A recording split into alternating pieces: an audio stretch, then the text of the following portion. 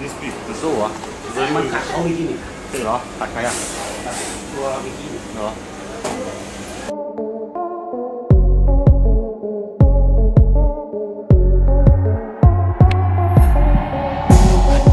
आज हम लोग बात करेंगे सांप की खेती के बारे में जी हाँ दोस्तों आपने सही सुना है क्योंकि आपने कई तरह के अनाज फल सब्जी या अन्य कई चीज़ों के बारे में सुना ही होगा लेकिन सांप की खेती के बारे में शायद नहीं आपको सुनने में अजीब लगे, लेकिन ये सच है। दरअसल चीन के एक गाँव में जहरीले सांपों की खेती होती है। इस गाँव का नाम है जीसी क्याओ। यहाँ 30 लाख से ज़्यादा जहरीले सांपों की वैरायटी पाई जाती है।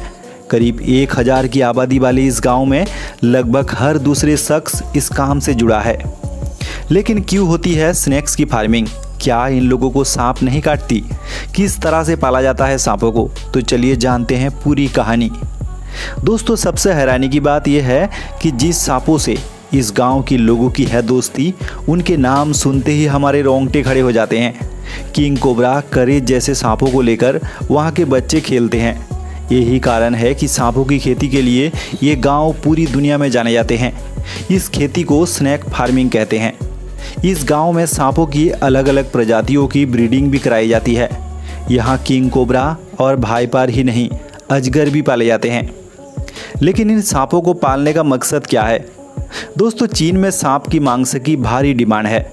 वहाँ के लोग सांप, बिच्छू, यहाँ तक कि कोई भी जानवर को खा जाते हैं। इसके अलावा गाँव के लोग सांप के जहर को बेचकर भी अच्छा मुनाफा कमाते हैं। तो हो सकता है आपको विश्वास ना हो, पर यहाँ सांपों का बूचड़ खाना भी मौजूद है, जहाँ सांपों को काट कर उनके अंगों को बेच दिए जाते हैं। दोस्तों, सबसे मज़े की बात यह है, यूँ तो वहाँ के गाँव वाले सांपों के साथ बहुत ही आसानी से रहते हैं, लेकिन एक सांप से उन्हें भी डर लगता है, जिसका नाम है फाइव स्टेप्स। इसे फाइव स्टेप्स इसलिए भी कहते हैं, क्योंकि इस सांप के काटने के बाद पाँच कदम चलते ही आदमी की मौत हो जाती है। तो यहाँ के लोग सांप पालते कैसे हैं? मीडिया रिपोर्ट की माने, यहाँ शीशे और लकड़ी के छोटे छोटे बॉक्सेस में सांपों को पाला जाता है और जब सांप के बच्चे अंडे से निकलकर कुछ बड़े हो जाते हैं, तब इन्हें एक स्थान से दूसरे स्थान पर ले जाने के लिए प्लास्टिक के थैली का उपयोग किया जाता है। सांप के शरीर के एक एक अंगों का उपयोग इन लोगों के व्यापार का हिस्सा है। इसके जहर, चमड़े और मांस से दवाई बनाई जाती है। तो सांपों की खेती देखकर आपको कैसा लगा? कमेंट करके बताएँ और जाते जाते चैनल को सब्सक्राइब करना ना भूलें।